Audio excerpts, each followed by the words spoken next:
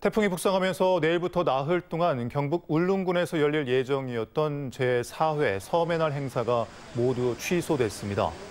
한국섬진흥원도 한국해양대 선박을 이용해 울릉도 항해 중 실시하기로 했던 국제학술대회를 부산에서 목포로 항해하는 항로로 변경해 운영합니다.